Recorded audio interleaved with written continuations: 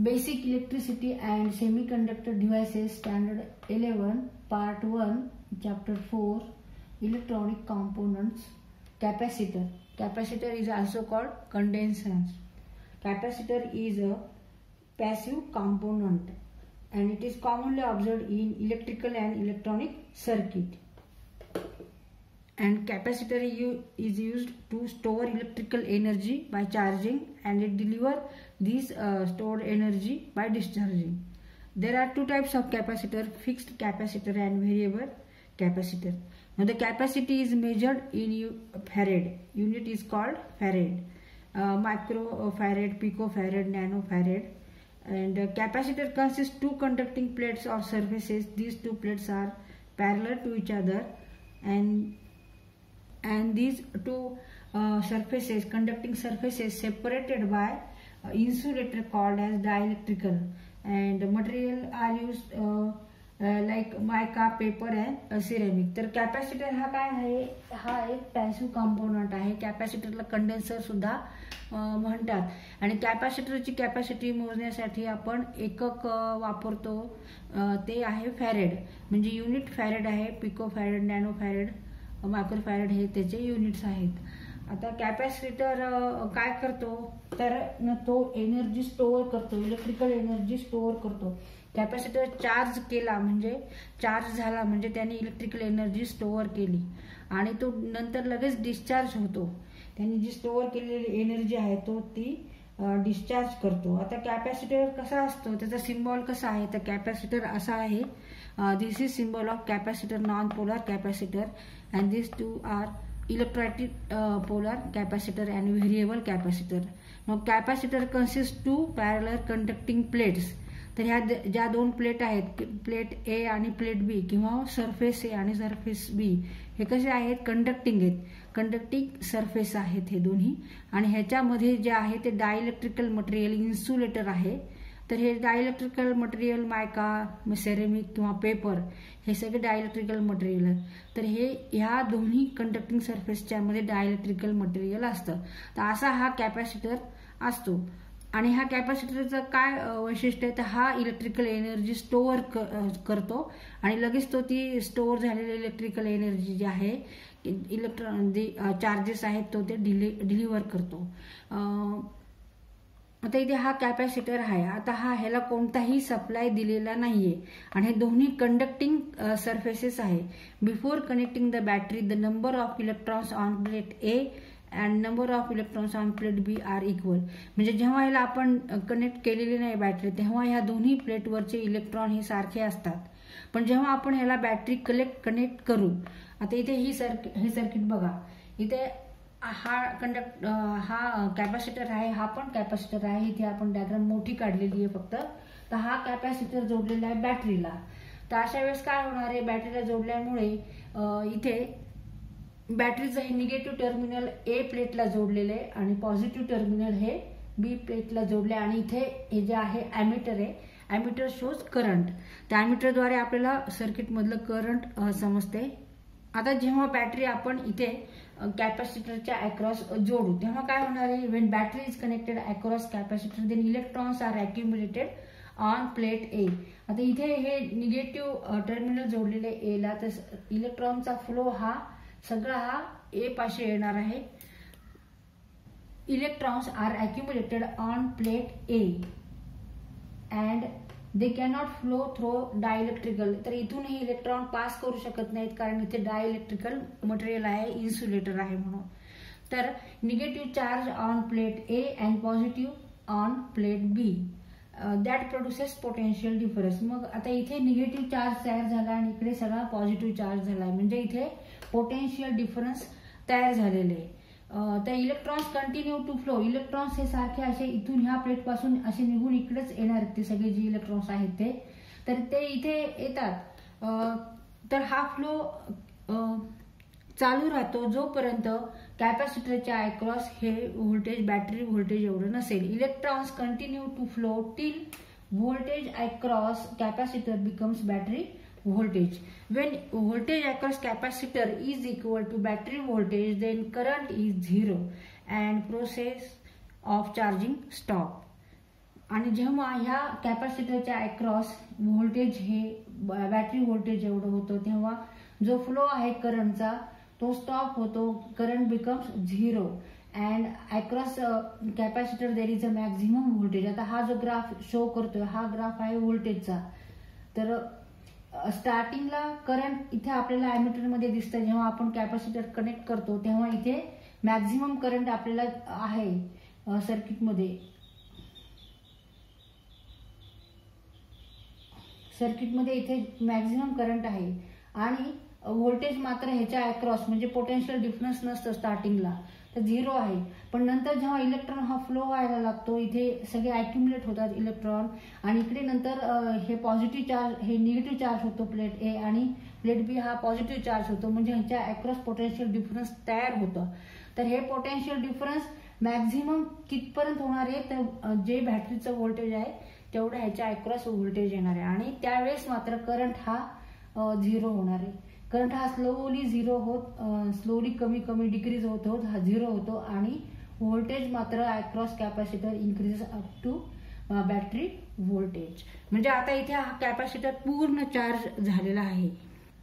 तर इथे ही जी कर आहे ही करंटची आहे at zero time current is a maximum and when potential difference across capacitor is equal to battery voltage that is maximum voltage across capacitor then current is near zero current is near zero आता इथे capacitor हा पूर्ण charge झालेला आहे. Current हा zero झाला आहे सर्किटमधला आणि potential across capacitor is equal to battery voltage then current is zero and process of charging is stop मग चार्जिंगची प्रोसेस ही स्टॉप होते. आता डिस्चार्जिंग होणार आहे.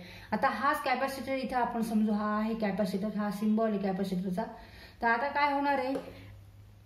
Negative plate repels electrons which are attracted to positive plates negative plates repel electrons and which are attracted to positive plates through resistance here we show through lamp the lamp glows for a short time इथं हा lamp म्हणजे हा bulb हा bulb हा glow होणार आहे फार थोड्या वेळापुरता for a short time and then it becomes off नंतर तो बल्ब ऑफ होणार आहे.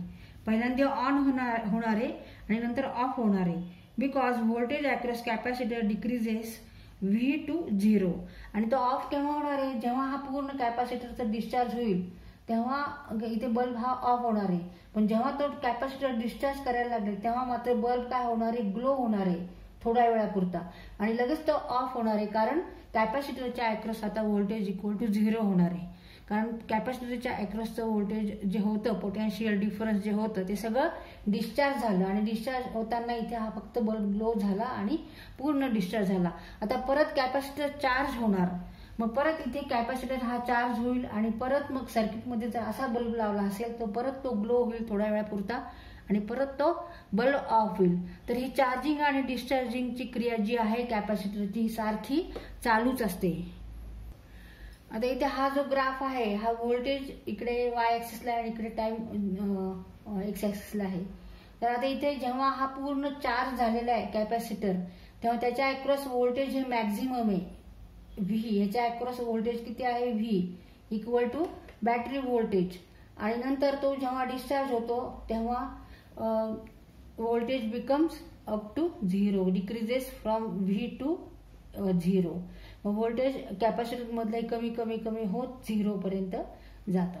म्हणजे कॅपॅसिटर हा आता डिस्चार्ज झाला complete no note that any charge or discharge current flows through the conducting wires to the plates but not through the dielectric the time constant time constant म्हणजे काय now time constant is the time in which capacitor gets charged up to 63.28 percent of applied voltage or it is the time in which capacitor gets discharged up to 36.72 percent of its initial uh, voltage आता time constant काढण्यासाठी formula आहे T equal to R into C इथे आता R काय आहे? Resistance value of resistance आणि C आहे capacitance आणि इथे टी आहे टाइम कॉन्स्टंट तर ह्या फॉर्म्युलाद्वारे आपण टाइम कॉन्स्टंट काढू शकतो. तर एवढ्या वेळा वेळामध्ये कॅपॅसिटर हा चार्ज होतो sixty three point two eight percent of applied voltage आपल्या व्होल्टेजच्या sixty three point twenty eight percent हा ह्या वेळेमध्ये चार्ज होतो. आणि ह्या वेळेमध्ये कॅपॅसिटर डिस्चार्ज होतो तो किती पर्सेंट आहे? तर thirty six point seven two percent ह्या वेळेमध्ये कॅपॅसिटर डिस्चार्ज होतो. Thirty six point seven two percent of applied voltage म्हणजे इथे जे व्होल्टेज अप्लाइड केलेलं आहे त्याच्यात thirty six point seventy two फक्त डिस्चार्ज होतो ह्या वेळेमध्ये. Time constant the time constant is the time in which capacitor gets charged up to 63.28% of applied voltage or it's the time in which capacitor gets discharged up to 36.72% of its initial voltage. तर capacitor एवढा charge होतो sixty three point two eight एवढा charge होण्यासाठी आपल्या व्होल्टेजच्या एवढा charge होण्यासाठी एवढा वेळ लागतो. पण कॅपॅसिटर पूर्ण चार्ज होण्यासाठी किती वेळ लागतो? तर फाईव्ह इंटू टाईम कॉन्स्टंट तर इथे हा आपल्याला फॉर्म्युला यूज करायचा आहे की त्याला चार्जिंगसाठी किती वेळ लागतो? तर five into five multiplied by time constant तर आधी आपण समजा टी इक्वल टू समजा टेन सेकंद असेल सपोज देन ह्या एवढ्या टेन सेकंदामध्ये कॅपॅसिटर हा सिक्स्टी थ्री पर्सेंट चार्ज होतो आपल्या व्होल्टेजच्या पण तो आपल्याला हंड्रेड पर्सेंट चार्ज करायचा आहे. तर ह्याला आपल्याला फाईव्हनी मल्टिप्लाय करावं लागेल. Ten into five. म्हणजे फिफ्टी सेकंद. फिफ्टी सेकंदामध्ये तो कंप्लीट चार्ज होतो पूर्ण चार्ज होतो. तसंच तो डिस्चार्ज सुद्धा काय होणार कसा होणार आहे? Five times constant it will get complete discharge. तर हे दोन्ही फॉर्म्युले लक्षात ठेवायचे. फाईव्ह इंटू टाइम कॉन्स्टंट म्हणजे कंप्लीट चार्ज किंवा कंप्लीट डिस्चार्ज. आणि टाइम कॉन्स्टंट काढायचा असेल तर R into C resistance value of resistance into value of capacitance आता असे कॅपॅसिटर आपण सिरीजमध्ये जोडले तर आपल्याला टोटल कॅपॅसिटन्स काढायचे तर इथे आपल्याला कोणता फॉर्म्युला वापरावा लागेल? वन अपॉन सी एस म्हणजे when capacitor connected in series is equal to one upon C one plus one upon C two ह्या फॉर्म्युल्यावरून आपल्याला इथे इफेक्टिव्ह कॅपॅसिटन्स मिळेल टोटल ह्या ह्याच्यामधलं कॅपॅसिटन्स मिळेल. आणि जेव्हा कॅपॅसिटर हे पॅरलरमध्ये जोडलेले असतील तर इथे हे दोन कॅपॅसिटर पॅरलरली जोडलेले आहेत समांतर मांडणीमध्ये जोडलेत.